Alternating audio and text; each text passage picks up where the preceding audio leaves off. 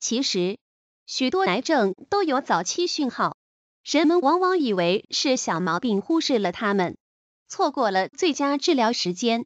一般来说，身体某异常状况持续三至六个月都没有缓解，甚至持续恶化，那就一定要看医生了。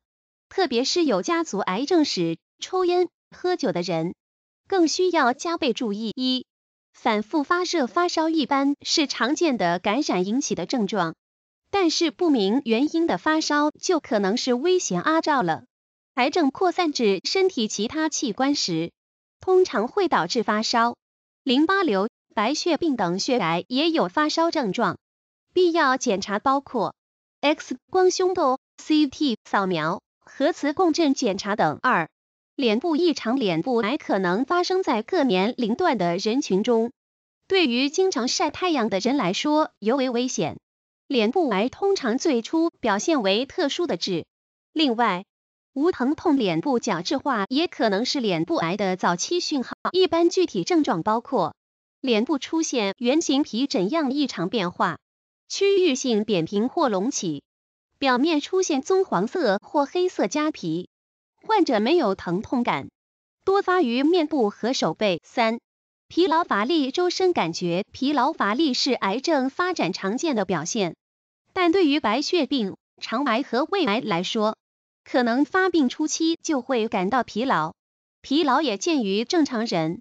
癌症的疲劳乏力不同于普通疲劳，普通疲劳经休息一下就会消失，而癌症的疲劳不论怎么休息，都会觉得很难改善。四、持续咳嗽或沙哑，持续不停的咳嗽可能是肺癌的先兆，特别是对烟民来说，而生硬沙哑可能是头部或颈部肿瘤的表现。因为这些部位的肿瘤可能压迫声带或损害控制声带的神经，头部或颈部肿瘤如今在年轻人中的发病率不断上升，值得引起注意。五、无痛感淋巴结肿大，淋巴瘤最常以淋巴腺结肿大为出发症状，尤其是在颈部、腋下或腹股沟等部位，一处或多处出现淋巴结肿大，质地较硬但无疼痛感的。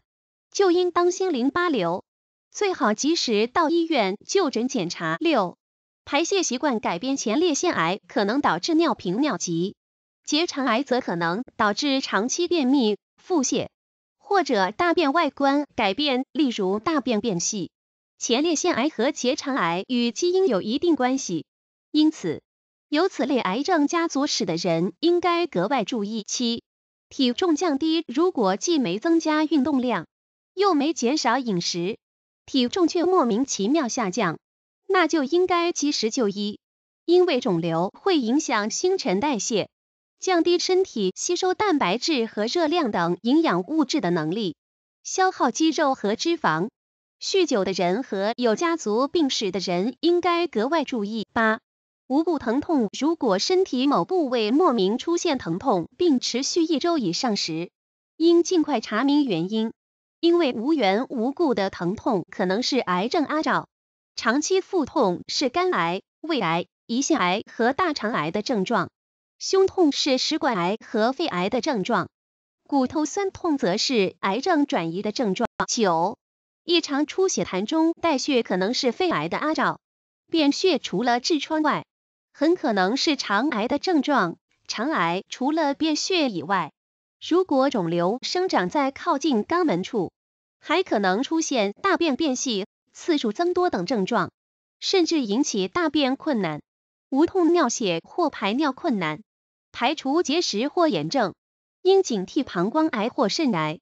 皮赘出血则可能是脸部癌变。十、溃疡不愈，口腔溃疡长期不愈可能是口腔癌的阿兆。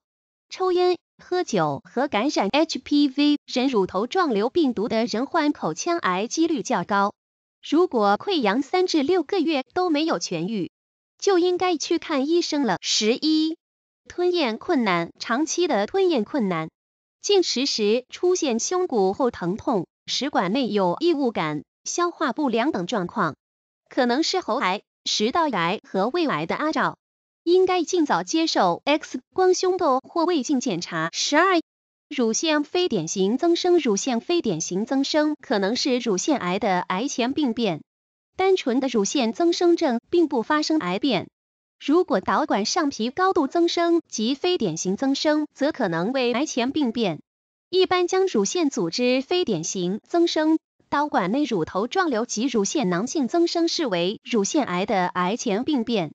如果女性朋友发现乳房乳腺有肿块，要及时就诊，进一步检查，明确病因。十三、慢性萎缩性胃炎，慢性萎缩性胃炎可能是胃癌的癌前病变。大部分慢性胃炎患者及时接受正规的中西医结合治疗，效果是比较好的，不会致癌。但是有的胃癌与某些良性病变共存，或在某些良性病变如慢性萎缩性胃炎的基础上发生癌变，而这些胃部疾病大多已长期存在，更易使患者放松对胃癌的警惕。要确诊是否有胃癌，就必须进行胃镜检查。十四。病毒引发的宫颈糜烂，病毒引发的宫颈糜烂可能是宫颈癌的癌前病变。宫颈糜烂是宫颈表面的一种现象，不是一种疾病。如果没有什么特殊的临床表现，一般不需要治疗。早期宫颈癌和癌前病变的症状与宫颈糜烂症状相似，盲目治疗。反而会造成癌症扩散。二十一岁以后的女性应该每年进行一次宫颈刮片检查。三十岁以后，可联合 HPV 人乳头状瘤病毒进行检查。十五、肺部结节，肺部结节大部分是良性的，只有很少一部分属于癌前病变或者肺癌。如果发现出现了肺部结节，不要过度惊慌，也别忽视。及时进一步诊断明确性质，根据实际情况进行观察或治疗。肺部结节很多情况下仅是炎症性病灶，这种疾病四十岁以上人群多发，因此这类人群或者有家族病史的高危人群，尽量一年做一次低剂量螺旋 CT 筛查早期肺癌。